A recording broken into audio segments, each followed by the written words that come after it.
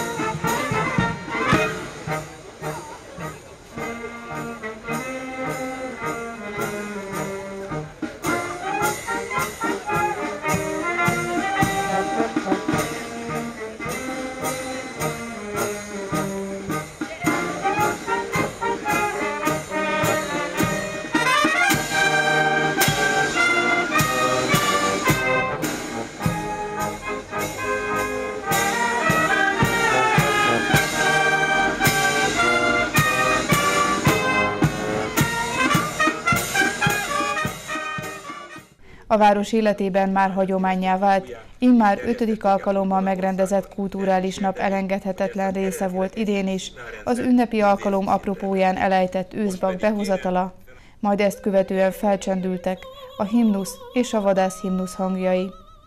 Vadász vagyok, hunors magor nyomán, sok kincset őrzök, mit rejt szép hazám, Nádas berek és erdős rengeteg, sok vadja várja mindig jöttemet. Szent a családi tűzhely, mint hitem s hazám, hozzájuk húz a vágyam magányos éjszakán. Szent a családi tűzhely, mint hitem s hazám, hozzájuk húz a vágyam magányos éjszakán. Vadász vagyok, erdőn, mezőn, tavon, jó lóvisz úton és vad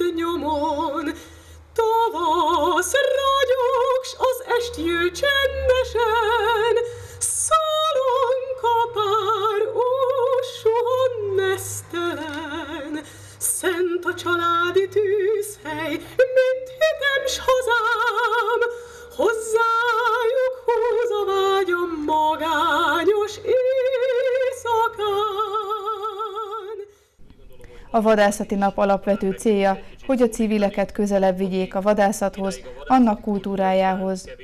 Az országos szintű eseményt Katona Csaba, Várpalota város alpolgármestere nyitotta meg. Ötödik alkalommal kerül megrendezésre városunkban, így már azt is mondhatjuk, hogy hagyományossá vált ez a rendezvény.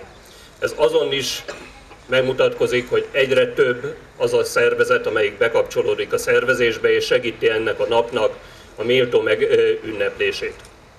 Talán az egyik legfontosabb az, hogy az idei évben eljutottunk odáig, hogy egy állandó vadászati kamara kiállítást ö, tudunk megnyitni, és én köszönöm azoknak, akik ebben nagyon sok energiát és időt szántak arra, hogy ez az állandó kamara kiállítás megnyílhasson. Katona Csaba elmondta, a rendezvény évről évre bővül, évről évre színesebb programot kínál az érdeklődők számára. Tavaly csatlakozott a szervezők köréhez a Várpalotai Bányász Horgász Egyesület, akik most is aktívan részt vettek. Kiállításukon régi idők horgászeszközeivel, fényképekkel, okmányokkal és trófákkal ismerkedhettek meg az érdeklődők. Ez évben pedig csatlakozott a Timber Sport Egyesület, akik látványos favágó bemutatóval várták a délutáni órákban a közönséget, valamint újdonságként a Nagyboldog Asszony római katolikus templomban egy orgona és vadászkürt koncertre került sor az esti órákban. Olá Csaba, a Vadászati Kulturális Egyesület elnöke köszöntőjében felolvasta dr. Semmilyen Zsolt, az Országos Magyar Vadászati Védegylet elnökének levelét, melyben a miniszterelnök helyettes nagyra becsülését fejezte ki a rendezvény szervezőinek, hogy a programok által nagyban hozzájárulnak a hagyományok ápolásához. Majd Olá Csaba hangsúlyozta, a vadászati tevékenység a fenntartható fejlődés fontos eleme.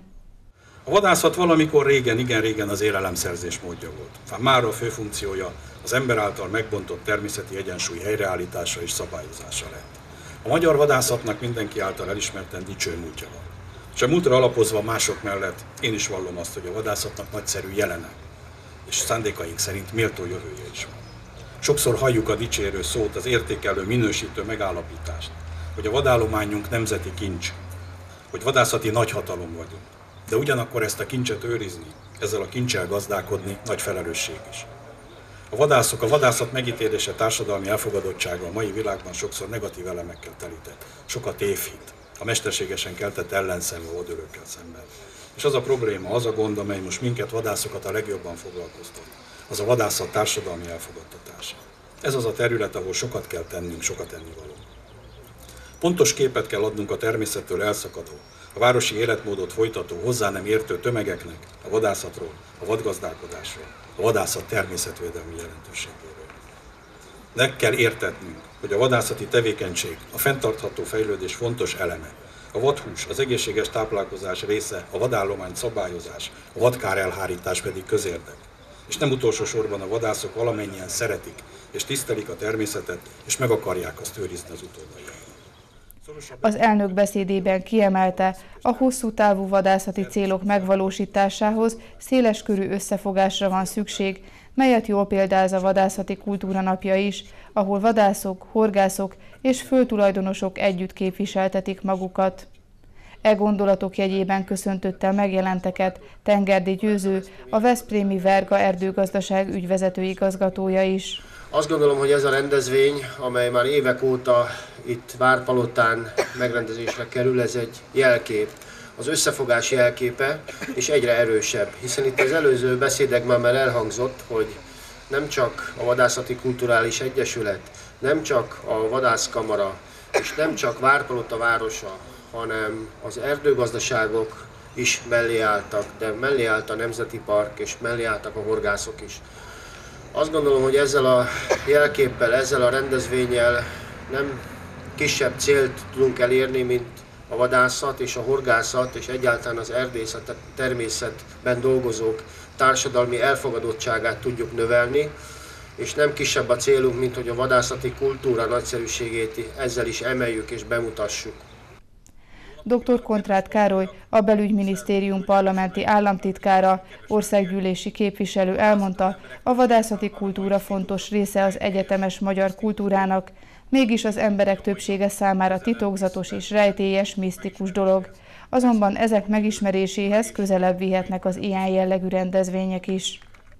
A megnyitó és köszöntő beszédek után kitüntetések átadására került sor.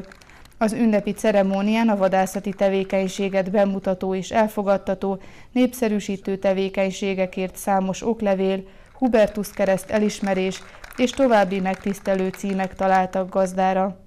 A rendezvényen benépesült az egész vár környéke, a délelőtti órákban készültek az incsiklandó hal és vadhúsételek, valamint az egész nap folyamán kiállítások, kirakodóvásár és színpadi produkciók várták a kilátogatókat.